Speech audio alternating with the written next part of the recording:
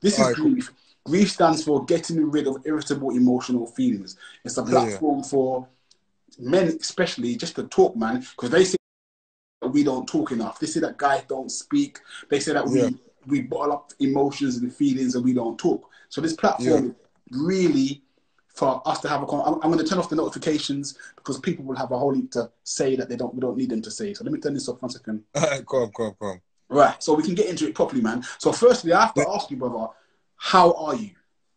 Yeah, man. Do you know what? I'm great, bruv. Like this lockdown, I don't know, man. Like it's, I, it's, I don't like it because there's enough things that I can't do. But at the same time, I'm not really doing anything that different. I'm still living the same way. And obviously, I can't go to certain places, but I apart like gym, can't do certain things. But apart from that, I feel like it just makes you more productive.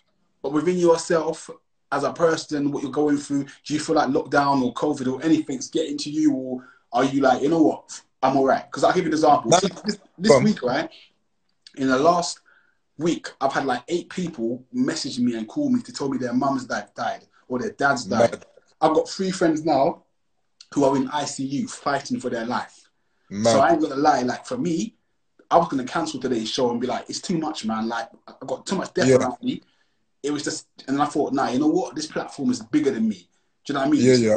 It's bigger than me, man. And if I can kind of help inspire and encourage some people. That's what I want to do. So when I yeah, ask you how are you doing, I don't mean on the out outward side. I mean how how is Castillo? Like, how are you doing in regards to everything that's going on around you? Are you okay? This is a brother to a brother asking. Bro, I'll be honest with you. Like, do you know what it is? Yeah, like I don't know, man. I'm I'm I've probably been through so much things. This is just like this is just normal, bruv. Like I don't know, man. I don't.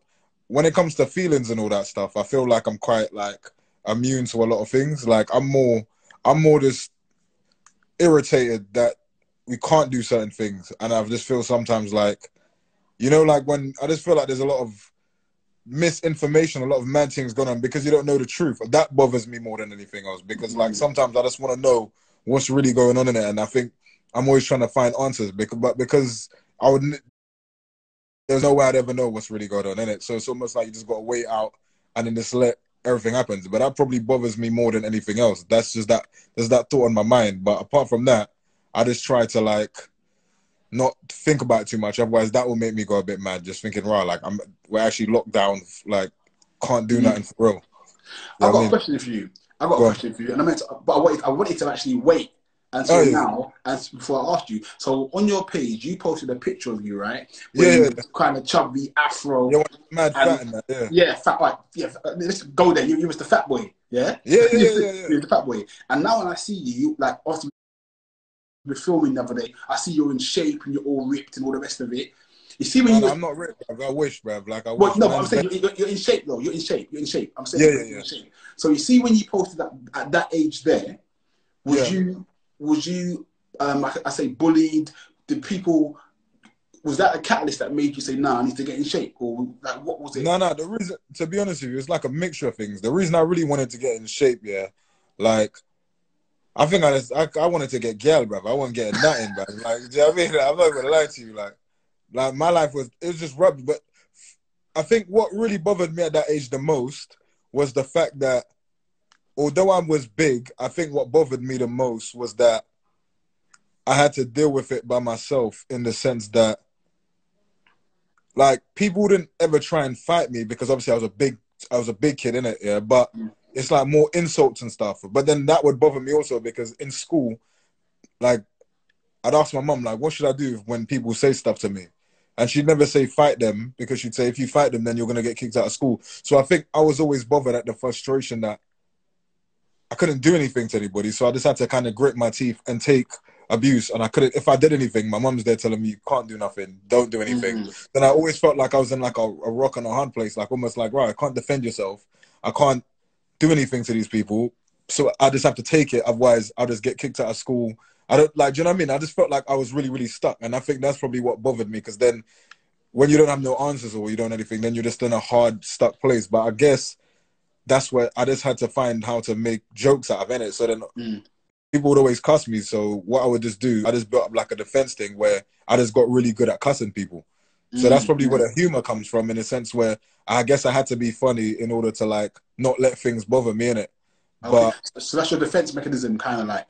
Yeah, because I couldn't like out of school I could fight people to defend myself, like if it was around my state. But in school, I was more worried about getting kicked out of school because obviously my mum's telling me don't don't do this. Like you, this is the UK. You can't just do this stuff. You get kicked out, and then I was thinking about all the stuff she had to do for me, like and everything. And obviously, she's not my real mum in it. She's my grandmother, all that. So I was thinking I'd oh, let Oh, I her down. If I didn't yeah, yeah. I'm adopted by my grandmother in it. I'm Oh, so adopted got- from both. Okay, so you got Go I got fostered, so yeah, I get it, man. I get it. I, I was Yeah. fostered from, from the age of three months old. Yeah, Yeah. you see what I'm saying? So it's like it's that responsibility to my to my grand knowing that she didn't have to raise me. So I thought, imagine I get kicked out of school after everything that we've been to, like everything we've been through together.